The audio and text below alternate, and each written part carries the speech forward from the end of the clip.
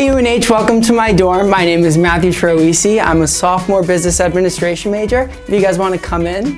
Uh, so my gallery right here, um, it's kind of like the crown jewel of my dorm. Um, I'm a photographer for the school. Um, so right here I have a lot of my work. I like to say I'm super Italian. Um, and of course I have a Patriots flag up um, with all the other sports teams because I'm from Massachusetts and I love our sports. And the couch right here, actually, I'm gonna shout out Trash to Treasure. I got this for like 30 bucks. So as you can see, my desk is pretty neat. I, I have to have just like an antique camera just for decoration. Um, I have some pictures up here of my family, some friends. Hey UNH, welcome to my dorm. My name's Kayla, I'm a junior. Um, I live at the Gables, I've been here for two years. It's really nice here at the Gables. You get a lot of space, you have your whole living room out here and your roommates, and it's nice to have more than one roommate, more personalities to converse with.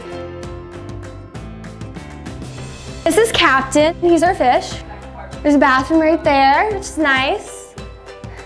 This is where all the roommates hang out. We have a nice living space, dining area, kitchen. Hey UNH, I'm Hannah Carey, I'm a sophomore here, and welcome to my dorm.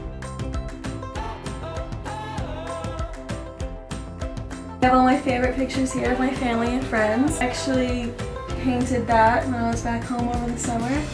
Um, and over here, I have all my pretty lights. Um, I always have them going. I just changed the batteries for you guys. um, these are all my Polaroids. Well, they're not all of them, but they're my favorite ones. These are all my pretty plants. I brought them from home. And I also have some fake ones because you can never go wrong with those. I have them everywhere around